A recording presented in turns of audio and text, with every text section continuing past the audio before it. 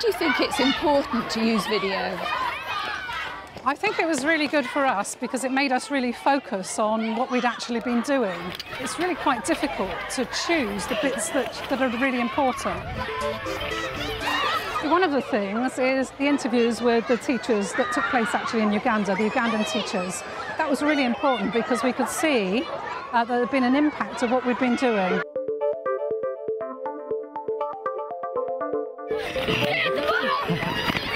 When I was a global teacher back in 2003, I went to Uganda on a teacher visit. I came back very inspired by that and wanted to develop much more work in school.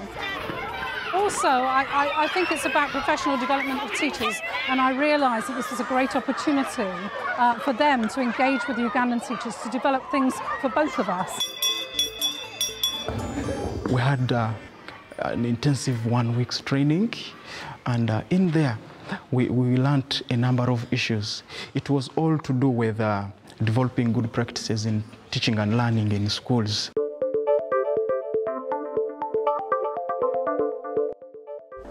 That's great. What is this? After a year gone by, the head teacher and the staff plus the pupils were all appreciative.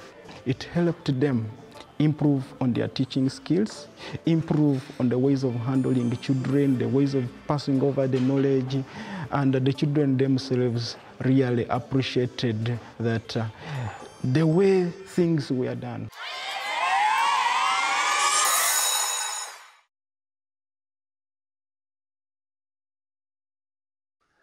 Kampala, the teeming, bustling, traffic-filled capital from which we emerged to travel the four and a half hours to Masindi, a rural district of small villages, banana and cassava plantations, subsistence farming, red roads, and thousands of wonderful children. Hello children in UK. We are from Isagara Primary School, Masindi, Uganda. Good afternoon, children. Good afternoon, sir. How are you?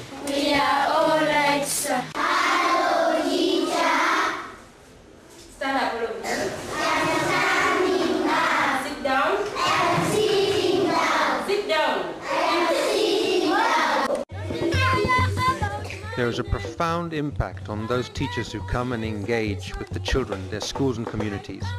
This is reflected in their practice on their return to the UK. It was a very um, enriching experience. And, and totally welcoming and so interested in learning. It made me think about lots of things that have not been part of my consciousness. It took me to a whole different level. I think it was very confidence boosting. It was a great privilege. So vibrant and exciting and so very, very different. Alongside taking teachers to visit Ugandan schools, we have developed an organisation, Red Earth, which aims to support Ugandan teachers in developing good practice in teaching and learning. Q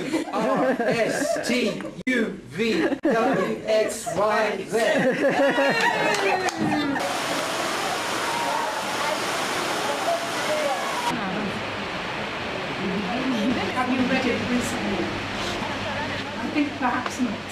Yes? It will be the same in my school. You have many documents, but sometimes we forget that we need to look back and say, yes, we need to refocus on doing these things because we have got into habits that perhaps are not engaging our learners as well as they could. I read it and then when I come to a a space, then I will hear your ideas for the words that could go in, okay? Ready, steady, go. The crowd waved and shouted. What a race this is going to be. Hare was away first. He... I'm 17. You are 5 plus 8. I'm 13. You are 5 plus 5. The P1 people say that he's interested of the playhouse. They normally play in that house. He's even interested in, with some displays. Okay, these children are making um, a, a play hut for the classroom for the P1 children. And they've collected, what, what is this you have collected? It is just grass. Of course, from the time we, we began moving on together, we felt so nice being in touch with the Red Earth and uh, borrowing knowledge from you people into our own system. Here, our teachers have also embraced the program, they have liked it, and uh, with the support from the head teacher and fellow teachers, things are going on very well. The headmaster is very happy about the program because he knows what you taught us is what should continue in the school. Okay, Joanne, could you could you tell me um, if there's been an impact in, in the schools that you support um, following the training that we did back in the summer? Yeah, in fact, it is true that uh, there's a great impact in, uh, in the schools where I'm working uh, following uh, this training which you provided to the teachers in my schools. I've seen very many changes. For example, there's one school where I have the student teachers who are being trained on their job. And this teacher whom you trained, he went and trained these other teachers and I was surprised when I entered the classroom to observe the teacher teaching. He used the, methods they told him uh, when he's introducing the lesson. He started with a very good game which motivated all the learners. And I was also impressed because I was also motivated. These teachers have started developing the leadership skills. They, are, they have started influencing these other teachers also to do the same things they learned in the, in the workshop. We, they teach us in group work. I've seen like conversations making us to write on on the hair. Uh-huh. Yes. When when to jump jump up to sings and some stories. We talk together in group work and we we share wishes. I like new songs like Who Took the Rice from the Cooking Pot and then there is less number of children absent from schools. Really? Is that Yes, true? Ah. yes.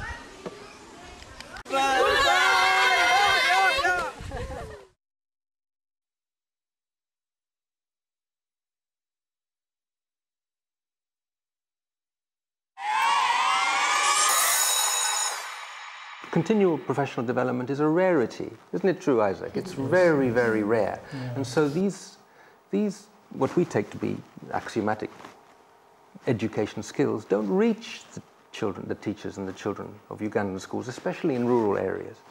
And so we have the opportunity, since we were invited, to go and to say, look, this is what there is. And we show them how it works, we enact it, we role play it. And people like Isaac, uh, uh, they say, we will try, and they do. And, and the results are so pleasing. But we have had to have a lot of discussions with other people about this in terms of the district education officers. Um, also, the Ugandans have a, a national curriculum, and we make sure that what we do links into what that says, because we don't want to do anything that is against what the government are asking the teachers to do. Yes, and we yes. made that a, a central part of the training as well. What kind of activities have the children been engaged in and what have their responses been? We're trying to involve the children in global, in global issues and real projects. So last term when I was working in year five, year five put together a newspaper and a magazine which was partly written by children in our link school and partly written by children in my school. And the children brought back the um, brought back the articles, edited them, and then when I went back out in the summer, they took them and shared them, which was to a great delight. And I just think it builds their um, their awareness of, of what what the world is like and how it can be so different and how it can be brilliant when it's so different. I've seen like conversations making us to write on on the hair. Uh-huh. Yes.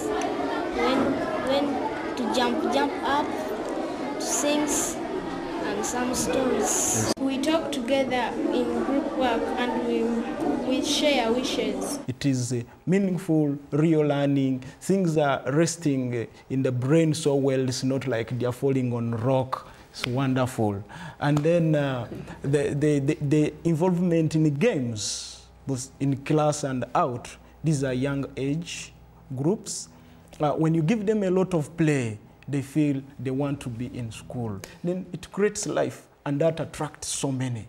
And it's also about active learning in class, isn't yeah. it? Rather, yeah. yes, we were talking about this uh, the other day. Yeah, it is active, participatory. Uh, everybody feels like uh, the contribution made in class is needed and should be shared by the rest, yeah, which is so great. I also think, actually, on the, one of the things that um, made us reflect, and we have reflected on, on it before, but making the video made us do it more, is that we were looking at children's aspirations. When you grow up, what job do you think you would like to do? I will become a doctor. I want to be a pilot. I would like to be a doctor. A nurse. A nurse. A journalist. A nurse. I would like to be a pilot when I finish my studies. It is quite a difficult issue in that it's much harder to achieve those aspirations in Uganda. And so you're promoting the development of these uh, ideas, which may well engage the children and it may well develop them uh, better educationally, hopefully. But what happens next? And I think we're always confronted with those issues in terms of, uh, of visiting a developing country. Isaac, what do you think is the real, the true value of using video? Of course, they carry the message more than if you had a discussion, a dialogue with somebody. Because now people will be seeing with their own eyes and they perceive what they see in their own sense, other than if you are just meant to buy some kind of perception from somebody. So they, they bring the reality.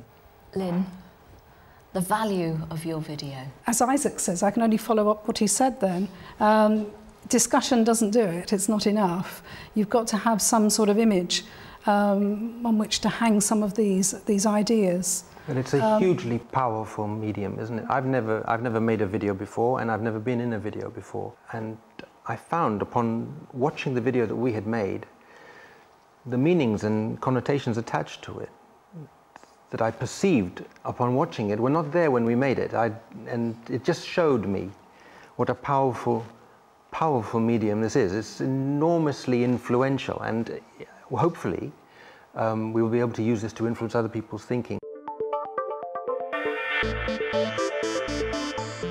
Basically, you found the process fairly simple, even though really you didn't have that much time to get out there and get no, practicing no. with it before you started. It was all we really needed, though, was the camera. We needed no sound equipment, we needed no microphones, we, we didn't need lighting or, or anything. It's just a point and shoot thing, so I found that to be extremely easy. I mean, I could shoot yeah, children here, smile and wave. Beautiful. Yeah.